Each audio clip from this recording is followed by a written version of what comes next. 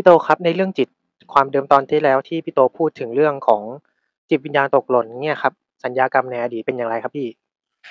ครับผม เนื้อเรื่องนี้นะครับ ค่อนข้างจะกินใจนะครับผม อืม ต้องใช้สติ และวิจารณญาณในการรับฟังนะครับผม อย่าเพิ่งเชื่อ และอย่าเพิ่งปฏิเสธ วางใจให้เป็นกลางนะครับ เอาข้อดีที่ผมถ่ายทอดไปปรับใช้กับชีวิตก็พอ แต่ถ้าไม่มีก็ ปล่อยวางลงนะครับผม ไม่ต้องมายึดติดอะไรทั้งนั้นนะครับผม EP นี้ครับจะเป็นจิตมาจากไหน part ห้านะครับผมที่ผมพูดเกริ่นไว้ท้ายคลิปของ part สี่นะครับผม วิญญาณตกหล่น มันมีไหมครับ แล้วมันเกี่ยวกับพวกเราไหมที่จริงผมไม่ค่อยอยากเล่าเรื่องอดีตนะครับผม แต่ผมจะถ่ายทอด ให้ทุกคนนะครับ ได้ ได้ใช้สติปัญญาพิจารณาแยกแยะเป็น อดีตผ่านมาแล้ว เราก็ไม่ควรยึดติดก็จริงนะครับ อนาคตยังไม่ถึงก็ไม่ควรจะคิดอะไรมากเกี่ยวกับอนาคต ต้องอยู่กับปัจจุบัน แต่สิ่งเหล่านี้ที่ผมจะพูดอะ มันเป็นกรรมนะครับ มันเป็นจิตวิญญาณที่ตกหล่น หรือสัญญากรรมในอดีต และไม่ใช่มีทุกดวงจิตนะครับ แต่ทุกดวงจิตอะส่วนมากเคยมีมาหมดครับผมทำไมผมถึงพูดแบบนี้ทำไมถึงต้องมีวิญญาณตกหล่น อย่าลืมนะครับผม มนุษย์เรามีขันห้า รูปเวทนาสัญญาสังขาร วิญญาณ สิ่งเหล่านี้ครับเป็นตัวเกาะยึดเหนี่ยวเราอะ ในกองกรรม กองภพชาติ ในวัฏฏะสงสารไม่จบสิ้นตราบใดที่เรายังไม่เข้าสู่พยะขั้นแรกคือพระโสดาบันสังโยชน์จะยังไม่ถูกตัดออก แต่ยังไม่ลดละลงภพชาติก็จะยังอยู่อีกมากนะครับ ยังหาหนทางพ้นทุกข์ไม่เจอ ดับทุกข์ไม่เจอ ไปสู่มรรคผลนิพพานไม่เจอ ชาติไหนดี ประคองสติ สร้างบุญบารมีได้ก็ไปสุคติได้ใช่ไหมครับ แล้วชาติไหนที่หลงมืดบอด ก็ทุกขติ แต่ส่วนมากนะครับร้อยละเก้าสิบเปอร์เซ็นขึ้นเลยสรรพสัตว์ในสังสารวัฏเนี่ยครับ ทุกขติมากกว่าครับ วนลูปเดิมอย่างเงี้ยครับ มันไม่ใช่เรื่องน่าแบบปิติยินดีแล้วครับ ที่ต้องเห็นเวนยสัตว์ ต้องเวียนว่ายตายเกิด ต้องทุกข์แล้วทุกข์เล่านะครับ ดังนั้นนะครับ หาหนทางที่พ้นทุกข์ดีกว่า หลักคำสอนพระพุทธเจ้าเกิดมาในยุคนี้มีอยู่แล้ว แม้พระองค์จะปรินิพพานไปแล้ว แต่หลักคำสอนท่านยังอยู่ เพียรปฏิบัตินะครับ มัชฌิมาปฏิปทาทางสายกลางอริยสัจสี่ค่อยๆศึกษาไป หรือเจริญสติตามกรรมฐานที่ตนถนัดตนชอบ เจอพ่อแม่ครูบาอาจารย์ที่ดี ก็จะไปสู่มรรคผลได้ แต่ถ้ายังไม่ถึง อย่างน้อยก็ประคองสติ ได้ถึงวินาทีสุดท้ายจิตสุดท้ายไปสู่สุคติภูมิได้ใช่ไหมครับ แล้วทำไมครับ เราต้องมีจิตวิญญาณตกหล่นด้วย ก็สัญญาครับ เป็นหนึ่งในขันห้าครับ ที่มันเกี่ยวเนื่องกับกรรมนะครับ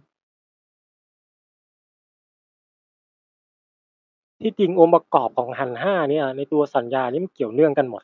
นะครับทำให้เรามีกรรมดีกรรมชั่วหมดนะครับ แต่แต่ตรงนี้ผมจะพูดในในข้อสัญญาแล้วกัน มันเหมือนเป็นข้อผูกมัดกันนะครับ รั้งกันไปไหนไม่ได้ ต้องมาเจอกัน ไม่ว่าจะมาสร้างบุญบารมีด้วยกัน มาเจอคนรักกัน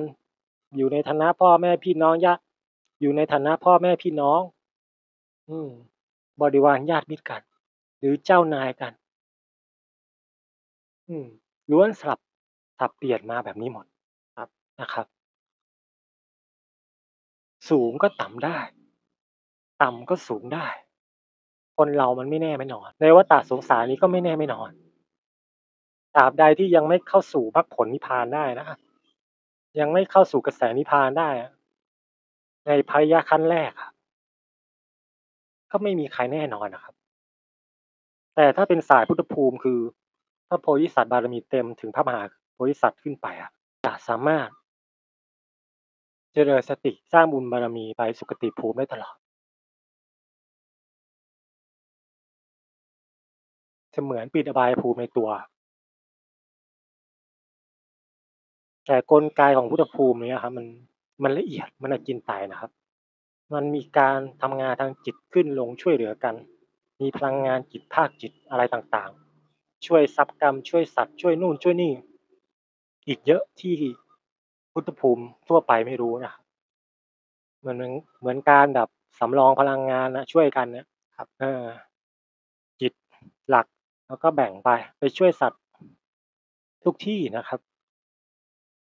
ก็มีการแบ่งรวมแทนที่ทดแทนอะไรงี้ใช่ไหมครับพี่โตใช่ทำหน้าที่กันแบบเป็นระบบเป็นเครือข่าย บางทีต้องยอมติดสัญญาเอง สัญญากรรมเองด้วยซ้ำครับนะครับ คือทำเพื่อส่วนรวมมันทำให้เราติดกรรมในตัวด้วย ครับ คือเราต้องยอมเสียสละไงครับ ให้ผลประโยชน์ส่วนมากอะแต่ส่วนรวมเป็นหลักครับ อันนี้คือหัวใจพุทธภูมินะแต่ต้องเป็นแนวทางที่ถูกนะครับนะครับ ไม่ใช่แนวทางมิจฉาทิฏฐินะ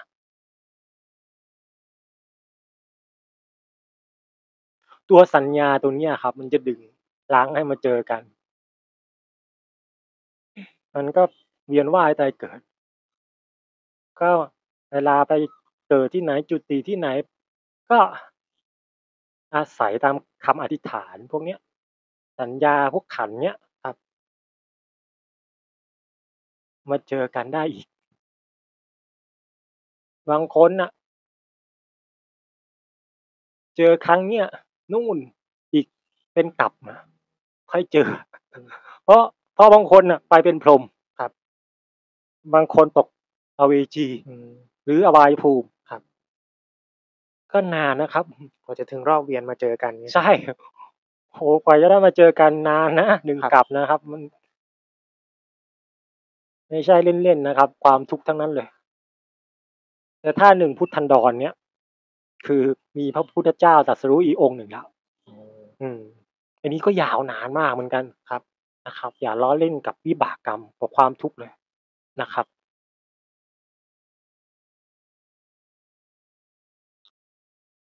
ในกรณีของวิญญาณตกหล่นเนี้ยอืม มันก็เป็นวิญญาณพวกเรานี่ครับ มันเกิดดับนับไปทั่วนะครับ แต่ส่วนมากจิตวิญญาณเหล่านี้จะเป็นบุคคลที่สำคัญในระดับต่างๆครับ นะครับ ในตอนที่มาเกิดคือจะเป็นทหารนักรบขุนนางอืมแม่ทัพกษัตริย์ เจ้าเมือง หรืออะไรต่างๆอะครับ ที่ค่อนข้างที่จะมีบริวารหน่อยอืมครับที่ค่อนข้างที่จะมีอำนาจหน่อยในการปกครองดูแลบริวารของตนในระดับระดับหนึ่งครับ อืม บางคนไปเห็น เอ้าทำไม เราอะ อยู่ในยุคนี้อืมทั้งที่เรามาเกิดในปัจจุบันแล้วครับ เหตุการณ์หลายสิ่งหลายอย่างนะครับ คือจิตเรามันเป็นตัวบันทึกนะครับ แล้วมันก็มีองค์ประกอบของขันธ์วิญญาณที่ตกหล่นเหล่านั้นนะครับ เราอ่านมาเกิด เป็นคุณเป็นคุณเป็นคุณ แต่วิญญาณ แต่จิตวิญญาณยังตกหล่นอยู่ในอดีตมอยู่ในอีกเส้นเวลาหนึ่งครับในภพภูมิหนึ่งอืม ทำไมจึงเป็นอย่างนั้นครับทำไมไม่ไปรวมกัน เออทำไมไม่เข้ามาหาเรา ก็สัญญากรรมมันยังอยู่ครับ มันทำให้เราต้องอยู่ในภพภูมิตรงนั้นอยู่ภพภูมิตรงนั้นก็อยู่กับโลกเรานี่แหละมันอย่างก็ซ้อนอยู่ใช่ไหมครับพี่ใช่อย่างอยุธยาอย่างเงี้ยก็เยอะนะสุโขทัยหรือไม่จะเป็นเชียงใหม่ โอ้หลายที่ครับ ทุกจังหวัดมีหมดอะนะครับ ถ้าเป็นที่ประวัติศาสตร์ด้วยนะครับ หรือถ้าใครมีเซนส์อาจจะเคยฝันเห็น หรือเห็นด้วยตาเนื้อโอ้โหเดินเข้าออกเงี้ยมีคนเข้า มีคนเดินออกมา สุดท้ายก็หายไปเงี้ยอืมมันมีนะคือในมิติของเขามันก็เป็นเป็นชีวิตประจำวันเรื่องปกติของเขาใช่ไหมถูกต้องเขาก็ใช้ของเขาเขาก็ไปใช้ชีวิตของเขาไปเออแต่เพราะมันอาจจะมีช่วงเวลาหนึ่งที่เหมือนคลื่นมาจูนตรงถูกกันต้องเออทำให้เราเหมือนเห็นเขา ใช่บางทีเขาก็เห็นเราบ้างงี้ใช่ไหมถูกครับต้องอืมอืมเนี่ยแหละถ้ามันปรับคลื่นมาตรงกัน ในช่วงจังหวะเวลาของเส้นเวลานะครับ เออ เขาหรือเราก็จะเห็นกันและกัน ส่วนหนึ่งมันต้องมีความพร้อมในเรื่องของจิตในขณะนั้นด้วยใช่ไหมครับ ใช่ จิตในขณะนั้นมีความสงบเหมือนมีความแบบมีญาณมีอะไรเกิดขึ้นในช่วงเวลาหนึ่ง ก็เลยเห็นใช่ไหมครับ ใช่อืมแต่บางทีสัญญากรรมอะ มันทำให้ไปเจอกันไงอ๋อมันดึงมันเป็นครับเสมือนคลื่นแม่เหล็กดึงให้ไปรับรู้ไงครับ รับรู้ไม่ให้ยึดติดนะรับรู้เพื่อแก้ไขว่ามันทำไมวิญญาณคนนั้น หรืออาจจะไม่ใช่วิญญาณเราก็ดีนะทำไมเขาติดอยู่ตรงนี้ มันเกี่ยวเนื่องอะไรกับเราครับ เราก็มาแก้ไขปัจจุบันให้ดี เราไปแก้ในอดีตไม่ได้แล้วครับนะครับ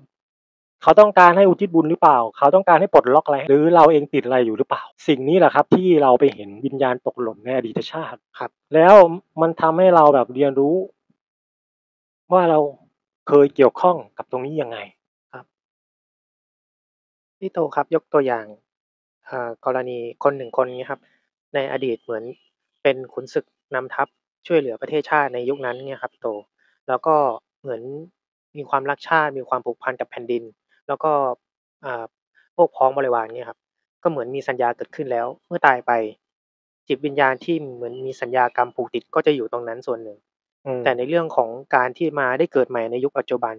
ก็เป็นอำนาจของบุญบารมีที่ที่เขาได้ได้ช่วยชาติได้สะสมมาใช่ไหมครับใช่ก็มีผลส่งให้เขาได้มาเกิดด้วย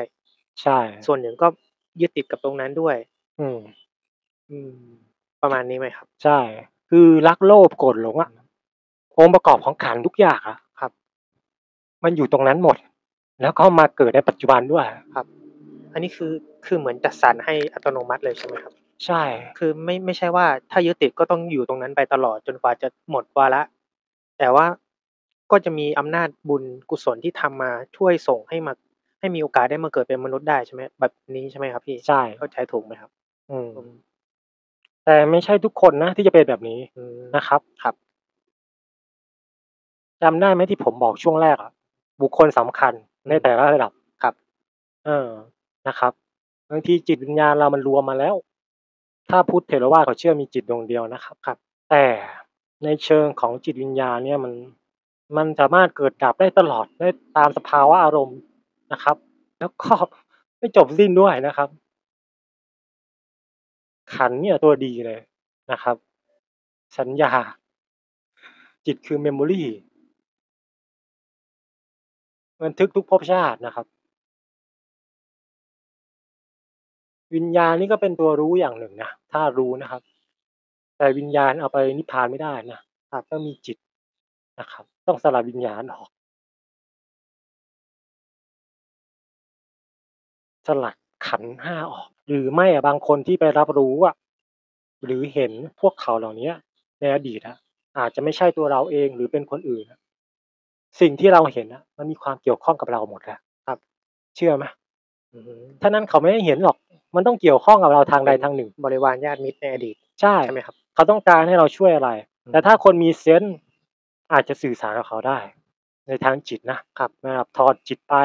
หรือจิตไปรับรู้เหมือนกับนิมิตหรือฝันนะแต่สิ่งเหล่านี้เราไม่ควรยึดติดนะในทางจิตจะถูกมารหลอกง่ายนะเราจะเกิดการปรุงแต่งมโนอุปทานเราต้องละวาง อืม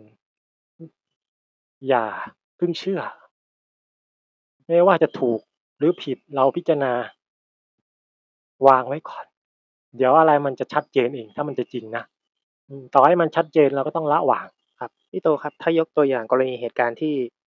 จิตจิตหนึ่งที่มาเกิดในยุคปัจจุบันเนี่ยครับ แล้วได้ไปในสถานที่ที่ตัวเองเคยเคยเคยเกิดในอดีตอะยกตัวอย่างขุนศึกที่ผมยกตัวอย่างในตอนแรก ถ้าถ้าเหมือนจิตวิญญาณ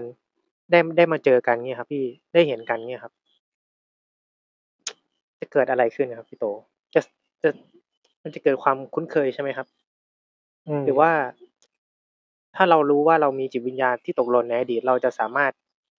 ช่วยจิตวิญญาณที่เหลืออยู่ของเราให้หลุดพ้นจากสัญญากรรมนั้นได้ไหมครับ คือสิ่งเหล่านี้น่ะ มันตกค้างก็จริงนะคือมันมีสัญญากรรมถึงมันตกค้างได้ ถามว่าช่วยได้ไหม ถ้าหมดเวลาหมดกรรม มันก็หายไปเอง อ๋อ ตามระบบ ก็เป็นไปตามกลไกของกรรมกับสัญญากรใช่รม ครับ แล้วบางทีอะถ้าเราได้ไปเห็นตัวเราเองในอดีตอะครับ จะฝันก็ดีหรือถอดจิตไปก็ดีบางทีสื่อสารกันได้ และที่สำคัญอะ บางทีเราไปรวมจิตนั้นเข้ามาเลยโอ้ทำได้เลยใช่ไหมครับ อืมมันถึงเวลาเก็บเข้าคืนแล้วไงอ๋อถึงเวลา เออ ถึงเวลาปลดล็อกแล้วไงอืมแต่ถ้ายังไม่ถึงเวลาเขาก็ยังอยู่แบบนั้นต่อ อืมเราก็ต้องทำบุญทำอะไร ในปัจจุบันเราให้ดีครับ ถ้าเขาหมดวาระแล้วเขาก็จะไปตามระบบเองครับ อืม เข้ารวมกับจิตเราเอง มันก็เป็นเรื่องที่แปลกนะครับ เห็นตัวเราเองในอดีตชาติ หรืออนาคตก็มีนะไอ้ที่ผมถ่ายทอดนี้ถ่ายทอดด้วยสิ่งที่ผมรับรู้มานะนะครับ ด้วยประสบการณ์ตรงเลยนะครับ แต่ทุกอย่างเส้นเวลาแบบมันจะแตกต่างกันนะไม่ว่าอดีต ปัจจุบันอนาคตอะ ถ้าไปแก้ไขอะไร ในอดีตกับอนาคตมากอะมันจะมีผลกระทบมากส่วนมากเขาไม่ทำกัน ก็เลยเน้นที่ปัจจุบันเป็นสำคัญที่สุดใช่ใช่ไหมครับ การตกผลึกเวลานี่มันก็เป็นสิ่งที่มหัศจรรย์เหมือนกันนะแต่ละเส้นเวลาปึ๊บปึ๊บปึ๊บปึ๊บปึ๊บบางทีมีตัวตนจิตวิญญาณเราโอ้โหเออ เป็นคู่ขนานก็มีนะครับ แต่ก็ไม่สำคัญเท่าเราอยู่กับปัจจุบันทำตัวเองให้ดีในปัจจุบันให้พ้นทุกข์ดีกว่านะครับ อันอื่นไม่สน อันอื่นไม่ใช่หน้าที่เราไม่ต้องไปสนใจ อาจจะเป็นจิตเราก็ดี หรือไม่ใช่ก็ดีทำตัวเองให้ดี ให้รอดครับ สิ่งเนี้ยสำคัญที่สุดแล้ว แล้วก็จิตวิญญาณที่ตกหล่นเหล่าเนี้ย สัญญากรรมแบบเนี้ยบางทีคนคนนั้นได้มาเกิดเป็นมนุษย์แล้ว แล้วเดินทางไปที่ต่างๆ บางทีก็ไปปลดล็อกเขาเลยนะเขาก็ไปเลยอย่างเงี้ยครับเออบางทีเขาก็รวมเข้าเราเลยครับแล้วก็จะมีกำลังมากขึ้นอืมมีมีศักยภาพทางจิตวิญญาณแล้วก็หมายหมายถึงรวมของเก่ากลับไงครับ อืมคล้ายๆแบบรวมบารมีเก่ากลับเออในจิตวิญญาณที่เราเคยสร้างตรงนั้นไว้ครับ แต่ถ้ามีกรรมมีอะไรก็ต้องช่วยการ support ไงก็มันรวมมาอยู่ที่มนุษย์เราแล้วนะครับคนที่มาเกิดแล้วไงจิตวิญญาณนั้นก็จะหายแล้ว อืม ถ้าเขาหมดภาระเขาก็จะหายเองอืม ไปตามกลไกของกรรม หรือมาเข้าจิตเรา หรือมาเข้าจิตของคนคนนั้น ก็เหมือนของเก่าอะ ครับ คือบางทีกรณีเข้ามาก็ทุกอย่างก็แบบดีขึ้น แต่บางทีถ้าจิตวิญญาณนั้นยังเหลือเศษกรรมอีกนิดหน่อยอย่างเงี้ยครับอืมแต่ในเมื่อถึงเวลาที่ได้มาเจอกันเราก็ดึงกลับมา แต่มันยังมีกรรมที่ต้องใช้อยู่ เราก็เหมือนช่วยใช้อาจจะกลับมา เราอาจจะป่วยนอนโรงพยาบาลสักสองสามวันนี้ใช่ไหมอ่าใช้กรรมให้หมดก็เลยเหมือนก็ได้แบบ มันมันคล้ายๆปรับธาตุช่วงแรกๆมันจะมีผลนะครับพี่แต่ถ้ามัน มันอันนี้การโอเคแล้วมันปรับสมดุลแล้วมันจะมันก็จะคล่องไหลลื่นต่อครับนะครับ จิตจิตที่เป็นหลักก็คือจิตที่มาเกิดในปัจจุบันใช่ไหมครับพี่ใช่สามารถเหมือนผลักดันแล้วก็จูนคลื่นอะไรได้ได้ดีกว่า แล้วสิ่งที่จิตวิญญาณเหล่านี้ตกหล่นอะเพราะว่ามีหน้าที่มีกิจต้องทำอยู่ เขายังไปไม่ได้อืมครับแม้ว่าเราจะมาเกิดในชาตินี้แล้วก็ตามนะครับ เออ หรือเขาอาจจะเป็นจิตหลักก็ได้ที่ตกค้างอยู่อืมแต่เราไม่ใช่จิตเขาเราเป็นญาติมิตรเขาเกี่ยวข้องเขา ครับคือมันสื่อกันให้รู้อะเหมือนกับให้ช่วยปลดปล่อยช่วยอะไรกันเงี้ยครับ ถ้าคนเหล่านั้นพิจารณาแยกแยะออกก็ควรทำอะไรนะอืมไม่สำคัญไม่หลงตัวเอง จับนู่นจับนี่จน ผิดทางนะถ้าเข้าใจเจตนาเขานะสิ่งแรกคือต้องหมั่นเจริญสติภาวนาแผ่บุญให้เขานะครับเขาครับ เขาเกี่ยวข้องกับเราแน่นอน อืมพอพูดถึงตรงนี้ผมนึกถึงกรณีตำนาน ที่เกิดขึ้นที่ถ้ำนาคาเลยครับ ที่พี่โตเคยเล่าให้ฟังว่า อืมเจ้าเมืองอ่าถูกสาปเนาะแล้วก็เหมือนก็ต้องอยู่ในรูปแบบของจิตวิญญาณแบบนั้นไปเป็นอืม เป็นพญานาคไป แต่ก็ให้โอกาสลูกหลานได้มาเกิดเพื่อที่จะช่วยให้คนอืม เข้ามาทำบุญมาช่วยเหลือปลดปล่อยบริวารที่เหลือ แล้วก็ช่วยเจ้าเมืองใช่ไหมครับพี่ประมาณนี้ไหมครับ คือจิตหลักท่านจะอยู่ตรงนั้นไงครับ ท่านมาไม่ได้ไงเพราะว่าติดสัญญากรรมติดคำสาปอะไรที่เขาเล่าลือมานะครับ แต่ด้วยบุญบารมีที่สร้างมามันมีอานุภาพพอสมควรครับ จึงดันให้จิตวิญญาณที่ลูกหลานที่ยังติดอยู่ครับ เออพอพอผลักขึ้นไปเกิดได้ครับ อืม แล้วก็มาช่วยกันอืมครับเออเป็นจุดแลนด์มาร์คเป็นจุดที่ผู้ ผู้คนต้องมาเยี่ยมชมสร้างบุญบารมีเนี้ยครับแรงศรัทธาใช่ไหมใช่ครับพลังใจเออตรงนี้อานิสงส์มันได้ไงอืมมันก็ครับจะเชื่อมต่อกัน ยิ่งก็ทำให้ค่อยๆปลดล็อก ใช่ถูกไปต้องเรื่อยๆครับ พลังศรัทธานี่สำคัญ แล้วบุญบารมีของทุกคนคำอธิษฐานเนี่ย ฐานที่จะผลักดัน ให้ตรงนั้นปลดล็อกได้เร็วให้ดวงจิตไปสู่สุคติภูมิ หรือเป็นมนุษย์มาสร้างบุญบารมี เพื่อมรรคผลนิพพานต่อไปครับ หรือ ถ้า ในกิจของพุทธภูมิก็บำเพ็ญในรูปแบบพระโพธิสัตว์ต่อไป แล้วในกรณีอะที่ที่พี่เคยเห็นนะมันจะมีรูปแบบที่เราไปเห็นจิตวิญญาณตกหล่นนะครับ เราไปเห็นทางจิตนะครับ เออปุ๊บบางทีมันสปาร์คเข้าหากันเลย มันดูดเข้าปุ๊บเลย รวมกันเลยก็มีโอ้เออไม่ต้องไม่ต้องเดินทางไปสถานที่ใดสถานที่หนึ่ง ก็คือเหมือนเมื่อถึงเวลาปุ๊บจิตจะหาทางมาเจอกันเองใช่ มันเหมือนสนามแม่เหล็กไงครับเพราะเรามาเกิดแล้วไง สนามแม่เหล็กตัวหลักเราไงครับ ถึงเวลาวาระพร้อมแล้วไงอืมเขาก็หมดวาระแล้วไงอ๋อหมดหน้าที่หมดอะไรแล้วไงครับ ผลบุญบารมีที่สร้างมามันหนุนแล้วไงมันถึงเวลากลับมาคืนแล้วไงครับ ตรงนั้นก็จะหายไปเลยอืมแต่ก็อาจจะมีดวงจิตวิญญาณอะไรที่ยังติดอยู่นะอืมก็จะมีหลายเคสนะที่ไปแผ่บุญแผ่อะไรเงี้ย เออบางทีก็ช่วยปลดล็อกเขาทีละนี้ทีละนี้ไปเกิดได้นะครับ ผม ในบางครั้งที่ช่วยระดับหัวเขาได้แล้ว บริวารก็จะหลุด อืมครับ เพราะว่ามันมีสัญญากรรมด้วยกันไงครับ หลุดเป็นพวงก็มีอ๋อครับ เออ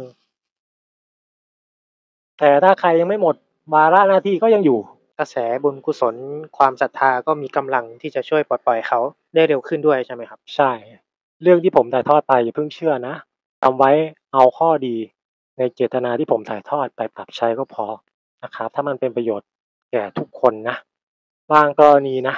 เราไปกายมนุษย์แบบนี้แหละ ไปสถานที่ที่เราเคยเกี่ยวข้องในประวัติศาสตร์ครับ หรือในอดีตนะไม่ว่าจะป่าเขาอาคารสถานที่ต่างๆ โบราณสถาน อืม ทุกที่ในโลกนี้มันมีพลังงาน บุญบารมีเก่า แล้วก็กรรมเราอยู่ อืมเออ แต่เรากลับชาติมาเกิดในชาตินี้แล้วครับบางทีเราไป มันก็ไปรวมของเก่าแล้วกลับแบบนี้ไม่มีจิตวิญญาณนะ มันจะเป็นพลังงานเก่าที่เราอืมเคย เหมือนไปเก็บ เก็บเลเวลอ๋อครับ ของเดิมของเราเนี่ยคือบางคนอาจจะไปต่างสถานที่ อาจจะคิดว่าเออที่นี่ ตั้งแต่เกิดมายังไม่เคยไปเลยอืมพอไปแล้วมันรู้สึกเอ้ยคุณเคยเหมือนเคยมาถ้าใช่พูดภาษาที่ยุคคนปัจจุบันพูดก็คือเดจาวูใช่ไหมครับพี่มันมันเหมือน ไปเจอพลังงานของตัวเองใช่ไหมครับพี่ เดี๋ยวเดจาวูจะพูดในคลิปต่อไปนะครับอืมครับ การที่จะแก้สัญญากรรมได้นะครับ ก็อย่างที่ผมพูดมาโดยตลอดนะ แต่อดีตมันไม่สำคัญแล้วนะถ้าใครไม่รู้ไม่เห็นไม่ต้องไปอยากรู้นะมันไม่ใช่ทุกคนนะครับ อืม มันเฉพาะคนที่มีเซนส์มียาน มีฌานแล้วก็เกี่ยวข้องในอดีต อืม เราควรอยู่กับปัจจุบันเนี่ยสำคัญที่สุดนะครับ สัญญากรรมมันจะตัดได้ หรือวิญญาณเหล่านี้จะปลดปล่อยได้ หรือรวมเข้าเราได้ มันขึ้นอยู่กับวันเวลา โดยมีกรรมเป็นตัวกำหนด ทั้งกรรมดีและกรรมไม่ดี และตัวเราเองด้วยในปัจจุบันนะครับ มันต้องเกี่ยวเนื่องกันครับนะครับ มันถึงจะช่วยส่งเสริมกันได้ ส่วนมากในกรณีนี้น่าจะเป็นเกี่ยวข้องกับคนที่มีหน้าที่ที่จะทำทำงานอะไรสักอย่างต่อใช่ไหมครับพี่โต อืม เหมือนไปเก็บ เก็บพลังงานเดิม เก็บจิตวิญญาณที่ติดสัญญากรรมกลับเข้ามา แล้วก็เอามาเป็นกำลังในการที่จะสามารถทำอะไรต่อทำหน้าที่อืม ช่วยเหลือ ส่วนรวมต่อใช่ไหมครับพี่ใช่ บางคนนะ ไปที่ประวัติศาสตร์ โบราณสถานต่างๆ วิญญาณรอเยอะแยะเลยนะครับ การที่เราแผ่บุญอุทิศบุญให้เขากรวดน้ำเขาบางทีปลดปล่อยเขา ไปเป็นกายทิพย์เทวดาเลยก็มีนะ หรือส่งไปเกิดเป็นมนุษย์ได้ก็มีนะ หรือไปตามกระบวนการของกรรม อาจจะอบายภูมิอาจจะเป็นสัตว์ต่างๆ ก็มีนะครับ ไม่แน่นอนครับนะครับ อยู่ที่จิตวิญญาณเขาเหล่านั้นน่ะอ่า มีฐานกุศลมากแค่ไหน ที่จะไปต่อ หรือมีฐานอกุศล อยู่เยอะก็จะไปอบายภูมิครับหรือไปเกิดเป็นสัตว์ต่างๆ ก็มีครับนะครับ หรือบางคนที่ไปในสถานที่โบราณสถาน ก็อาจจะไปใช้กรรมก็มีใช่ไหมใช่เออก็เหมือนไปเคลียร์กับเจ้ากรรมนายเวรถูกต้องเออเราไปทำบุญเพื่อที่จะส่งบุญให้เขาแล้วก็ขอขมากรรมในตัว ถูกต้องเออใช่ไหมตรงนี้ลืมพูดไปเลยเออใช่ๆครับ พี่ก็คิดอยู่ว่าพี่ลืมพูดตรงไหนนะผมนึกได้พอดี เนี่ยครับ ที่ผมต้องให้น้องมาพูดด้วยครับ เพราะว่าบางทีผมอยากจะพูดให้ละเอียด คือผมเป็นคนที่ต้องพยายามถ่ายทอดให้ละเอียดที่สุด ให้ครอบคลุมที่สุดครับเออให้ชัดเจนที่สุด บางทีน้องนึกขึ้นได้มันก็เพิ่มเติมได้ในความรู้ครับกว้างขึ้น สิ่งที่ผมพูดให้น้องฟังมันเยอะกว่านี้นะครับเออบางทีเขาก็เก็บตกให้ผมได้เงี้ยครับเอาเป็นว่าทุกคนไม่ต้องสนใจอดีต หรืออนาคตนะทำปัจจุบันนะครับ ถ้าคุณเดินจิต ในหลักสายกลางขององค์สมเด็จพระสัมมาสัมพุทธเจ้าแล้ว หลักคำสอนของพุทธองค์นำพาไปถูกทางแน่นอนครับ ขอให้พบ แสงสว่างแห่งปัญญา พบพ่อแม่ครูบาอาจารย์ที่ดี พบกัลยาณมิตรที่ดีคล่องตัวทั้งทางโลกทางธรรมนะครับ สู่มรรคผลนิพพานการทั่วหน้านะครับ คลิปนี้ขอบคุณมากครับที่รับชม สวัสดีครับ สวัสดีครับ